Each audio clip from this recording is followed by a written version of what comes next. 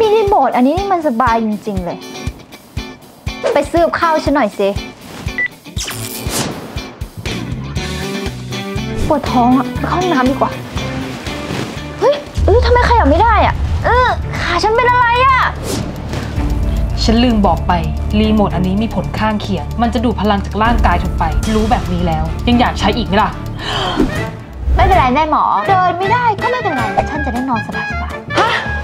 เธอนี่มันขี้เกียจจริง ๆ เลย ไฟไหม้